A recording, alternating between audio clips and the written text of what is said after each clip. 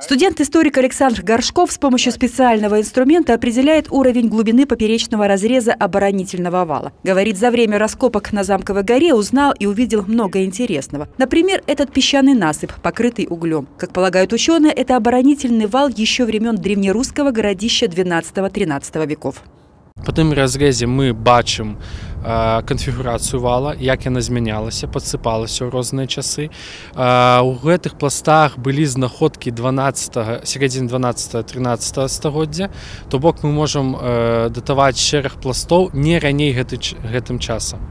Дакладна сказаць э, датрок гэта датроку это вала вельмі цяжка тому что И если археологи, разглядывая раскоп изнутри, пытаются разгадать, что таят в себе узорчатые пейзажи культурного слоя, то строители решают другую задачу. Буквально через три дня на территории Старого замка начнется новый этап работы – испытание свай. Нагрузка, которую предстоит выдержать каждому из 10 забиваемых в грунт столбов – 160 тонн. Подготовительная работа к эксперименту уже началась. Нужно определить несущую способность сваи, посмотреть, как будет работать непосредственно конструкция строительная, э, и уже сделать определенные выводы, добавлять или, или оставлять непосредственно э, количество свай.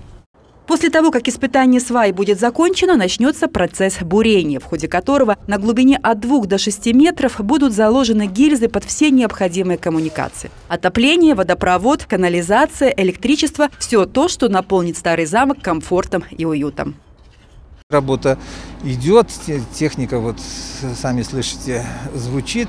Э, также продолжаются работы по усилению стен в пристройке к браме.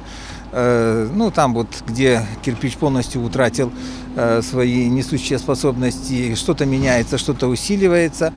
На территории старого замка со всех сторон сетчатые ограждения, рабочая специальная техника и строительная пыль. Но реконструкция уникального памятника архитектуры никак не отразилась на работе музея. Экспозиция, расположенная на территории старого замка, по-прежнему ждет посетителей все дни, кроме понедельника с 10 утра до 6 часов вечера. Алла Внучко, Гаджан Батырджанов, Новости, Кротно Плюс.